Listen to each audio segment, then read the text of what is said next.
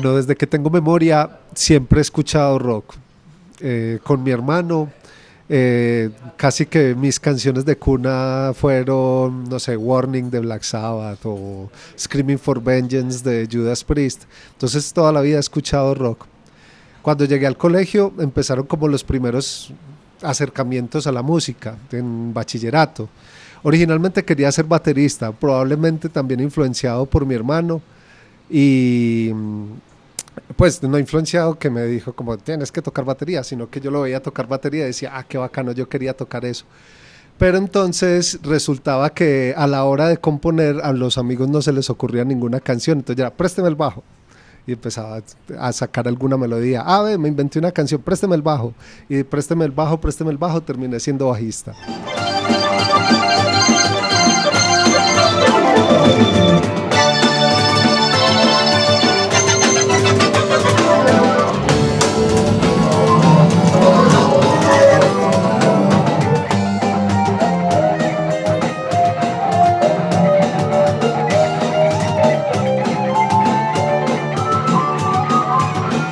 Empecé como a tocar más en serio, más o menos en el año 97.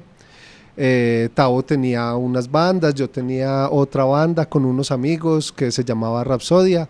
Y finalmente, en el año 99, empezando el 99, nos reunimos con Juancho Posada y con él empezamos lo que se convertiría en Bandolir.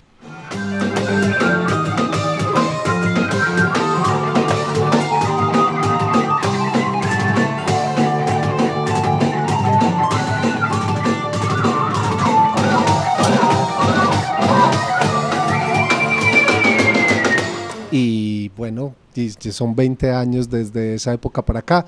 Hemos tenido otros proyectos, yo he tocado, eh, después de viejo, me conseguí una batería y he tocado con una banda de blues, pero también hemos tocado eh, metal con una banda que se llamaba Quinto Mandamiento, también tuvimos, he tocado y con mi hermano también he tocado con Canuto en algunas ocasiones. Inclusive Canuto hizo parte de la agrupación en una época.